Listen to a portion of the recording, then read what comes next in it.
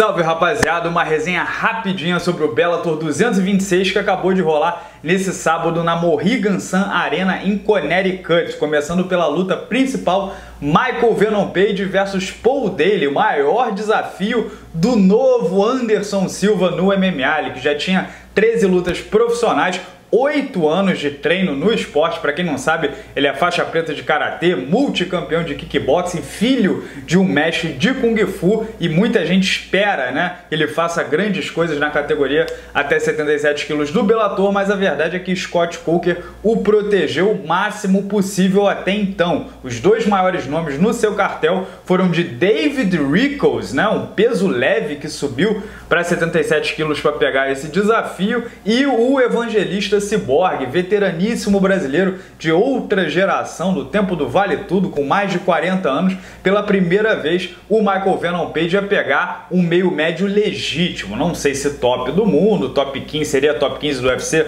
por exemplo, mas o Paul Daly de fato é um cara perigoso. E o que a gente viu, na minha opinião, foram algumas respostas incômodas sobre o futuro de Michael Venom Page. Isso porque o Page conseguiu ser quedado de novo e de novo pelo Paul Daly! Exclamação! Só não perdeu a sua invencibilidade no esporte porque o Daly mais velho morreu no gás. E ser neutralizado na luta agarrada por um cara que é historicamente conhecido por ser terrível no setor não dá, é um péssimo indício. A minha conclusão é que mesmo há oito anos no esporte, ele está ainda muito cru demais num, num setor imprescindível. E agora a gente entende por que, que o Scott Coker o protegeu tanto. Não dá nem para imaginar Michael Venom Page contra Ben Askren, Kamaru Usman, Kobe Covington, caras que são excelentes na luta agarrada quando o Paul dele o bota para baixo. Apesar dele ter vencido e avançado no GP dos meio médios, sinceramente hoje eu perdi as minhas esperanças, porque sim, ele é muito fora de série em pé, né? Ele consegue com a guarda abaixo sequer ser golpeado, porque ele é muito grande para a categoria, 1,97m de envergadura, mais de 1,90m de altura. Ele, por exemplo, é, é, praticamente do tamanho do Israel Adesanya, sendo uma categoria abaixo. Então ele domina né, o timing de entrada de golpes à distância, como a gente pouquíssimas vezes viu no MMA. Mas isso não basta, ele é muito frágil no ponto fraco e a gente não está falando de kickbox, a gente está falando de MMA. Michael Page não tem condição nenhuma de pegar um wrestler de grosso calibre. Na próxima rodada ele vai pegar outro striker, né, o Douglas Lima, mas é um ex-campeão, um cara veterano, faixa preta de jiu-jitsu, tem a luta agarrada muito mais desenvolvida do que o Paul Daly e tinha já dominado o Paul Daly em pé. Então na próxima rodada, de fato, ele vai pegar um top mundial. E a tendência, pelo que eu vi hoje, é que ele não passe. Até numa possível final contra o Neyman Grace, Rory McDonald ou até o John Fitch, que já é bem coroa, mas é um carrapato, Pô, dele com esse jogo vai ser zebra de novo. Falando em frustração, tivemos duas lutas chatíssimas na categoria dos pesos pesados. Primeiro, Roy Nelson versus Mirko Crocop, né? A revanche, eles se enfrentaram no UFC e o Roy Nelson nocauteou o Crocop na ocasião. Dessa vez o Crocop se vingou, né? Eh, venceu por decisão unânime. O Roy Nelson veio com uma estratégia muito estranha de botar o Crocop para baixo a qualquer custo, quando os poucos overhands que o Nelson aterrissou machucaram o Crocop. O parecia que sua resistência não ia aguentar os overhands do Nelson, mas o Nelson não insistiu neles, insistiu em tentar botar para baixo fazer isometria, o Crocop está com mais suco que a Maguari, muito pesado, muito forte, não cedeu a queda, só foi quedado ali no último minuto da luta, então uh, o Roy Nelson também não arranjou nada, mas enfim, chegou a 11ª vitória uh, fora depois que saiu do UFC, né? Foi uma luta bem maçante, bem chata, a torcida vaiou bastante, mas o que importa é o resultado, ele estreou com vitória no Bellator, aterrissou um, um pouco mais de golpes contundentes